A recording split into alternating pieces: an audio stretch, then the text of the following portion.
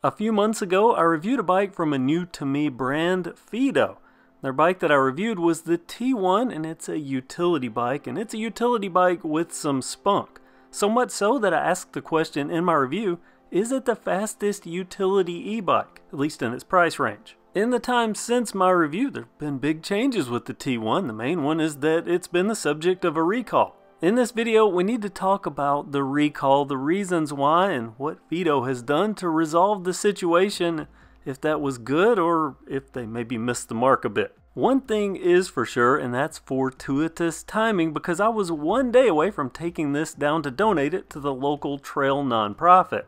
Then I received an email, and that email, at least to me, it had all the warning flags of a scam at my first glance because I get a title. Attention, your Fiido T1 needs to be replaced. Interesting because I just had a review bike. It was only passing through my hands temporarily, didn't even own it, so why was I getting an owner's email? But I'm still intrigued, so I read on. We are sorry to notify you that your Fiido T1 is on our replacement list, and this is exactly how they wrote this. As far as we know, only a small percentage of the bikes from the batch, don't know what batch, will suffer from the issue. I don't know what the issue is, but ASA precaution, this is exactly how it was written. We urge you to stop using the PR duct and wait for the replacement. It went on to tell me about all the new refinements and great new features of the replacement e-bike and then made some promises. The promises heading, again, this is verbatim, and the promises we made in public will also hold. Here are some highlights. All T1s will enjoy a 5-year warranty for the frame from now on, so I'm assuming it's the frame that was breaking. Ah yes, here in the next section, we promise that if any of the new T1s suffer from a frame breaking issue under normal use conditions, Fiido will compensate the customer with $10,000. I'm looking for a next line that says something about a Nigerian prince and me needing to wire some money. Maybe I'm growing too cynical, but all this just didn't seem right. Plus, I'm no corporate lawyer, but in America at least, companies they do everything to try and avoid actually going through with the recall. I can't imagine one going through with the recall and then offering money if something were to happen with the replacement product, much less 10,000 smackers for a bike that only costs a small percentage of that. And there's more. We are confident in the T1 and are sure that no one will have the need to claim this, the $10,000, but feel free to bet against us. And all I need to do to get the replacement bike is send all my contact information, my shipping information, a picture of the bike's serial number, and they'll send it out to me. I know there is a thing called corporate speak, and then there's whatever this is. It's very uniquely worded. So I'm thinking, definitely, it's got to be a scam. But I have an ace up the sleeve, a contact at Fiido. So I reached out to them and I received a response that confirmed this was, in fact, genuine. Wow. Okay, so a few email exchanges later, and I'm told to take the battery and the charger from the old bike and hold them. Wait on the new bike to arrive, use the battery on that, and good to go with a brand new T1 with many improvements. The gray clouds of doubt are subsiding, and I can't wait to see the new features on the new T1. This is not it, but it is a rosy picture. Now, I did talk about the packaging on the original T1. I was impressed the packaging on the new T1 even better, complete with an updated picture on the new manual. A bit of assembly using the included tools and I've got a new T1. This is the old T1. I decided to bring it out so I could do a side-by-side -side comparison so I could show exactly what's different, what they've upgraded because they have made the bike better. Or have they? Well, let's take a look at what's different. First and foremost, I know it was the frame that was breaking, but I don't know exactly where the frame was breaking, though I do have my suspicions. Looking at the new bike, that massive bit of reinforcement tells me that it was probably somewhere in that area. Side by side, you can really see the extra reinforcement. I mean, it's pretty obvious, but it doesn't look bad. Actually looks kind of cool, as does the downward scoop for the rear rack. Now, one other change they made, I complained about the seat height at its lowest level, it was just too high on the original. And you can see extended all the way up. That's the old in the back, the new up front. The new goes way down, but it still has a suspension seat post. And the more that I look at this frame, the more that I see it's not just the reinforcement. All these tubes, they look to be just a bit larger, which is a good thing on a utility bike, especially considering that the old one was breaking, again, not sure exactly where, but Pretty sure it was back there at the reinforcement.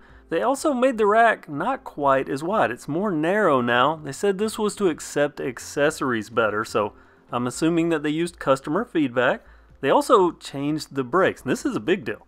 The bike had mechanical disc brakes with 180mm rotors, now hydraulic disc with 180mm rotors. That's front and rear. A big and welcome change, and I think almost makes it worth having to go through a recall for people that bought this bike. Another change I noticed that wasn't in the email documentation, the kickstand. It's now chainstay mounted. If you'll remember in my original review, they had a center stand. It's kind of like a scooter. I liked it at first, then I noticed when it folded up, because there's a derailleur and a chain, they couldn't fold it all the way up, so there's not a lot of clearance. It would rub on stuff. I didn't like that. Well, now, no worries with that. Some big changes, most of the other stuff the same. A lot of the original, I think there's a reflector now on the wheels that wasn't there before, but a lot of the things, the headlights, the rack, all that was present on the old T1. It's carried over to the new T1. So lots of improvement and that promise of 10 grand if this frame breaks, the new frame, breaks in the course of normal use. So it's all good, right? Well, there is one thing. Someone has to look close to see this, but on that original T1, the motor markings, 48 volt, 750 watts, exactly what the bike is supposed to have according to the marketing documentation. When I looked at the motor on the new bike, whoa, 48 volt, 250 watt. What the? Okay, a couple of deep breaths and an email later, I get a response. Thanks for your attention. The code is simply marked as 250 watt and is actually 750 watt. I've never ever encountered that, but things can happen, so let's go further into this. Because back to that original email, the one that I thought was a scam, it did have this line included in with the improvements better riding experience from improved pedal assist and throttle modes, which smoothens the acceleration and lowers the sense of jerkiness. Now I can tell you from experience that computer programming on the same motor can make things feel way different. Example, the Lectric XP prototype that I have is an absolute rocket.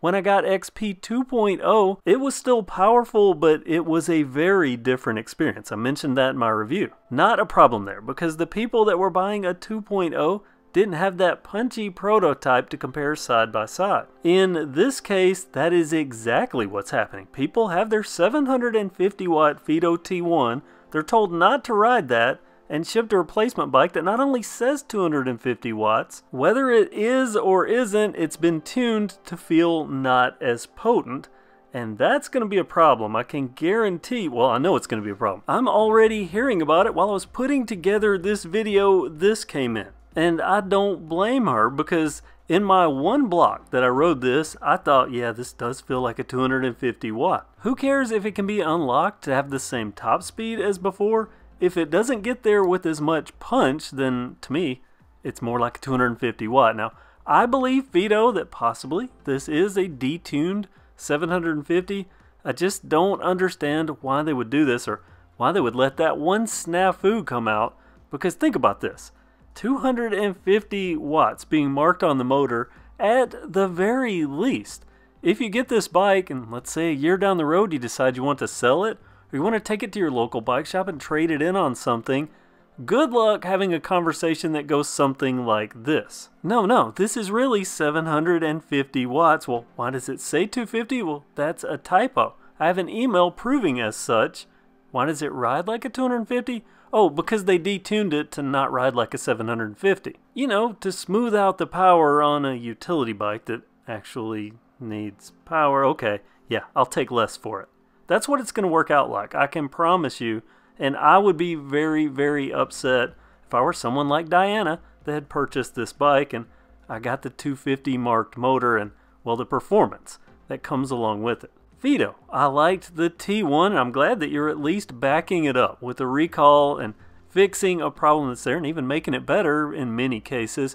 But as far as this motor marking and the new performance, I'm going to give you the benefit of the doubt and I'm even going to let you comment on this video. If you do, I'll pin it to the top so everyone can easily see it or feel free to contact me. I'll be more than happy to let you speak your piece in another video. Really do think you need to at least address this at least in comments, because I know there are probably going to be. Just look at the comments on this video. Viewers will certainly comment, as I'm sure some Fiido T1 owners will. As I see it right now, not cool with the new performance and the questionable marking that really makes me think it's maybe. Uh, okay, I'm just going to leave it here and leave it to the viewers to comment and to T1 owners to comment. What do you think? Thanks for watching Kev Central. Have a great day.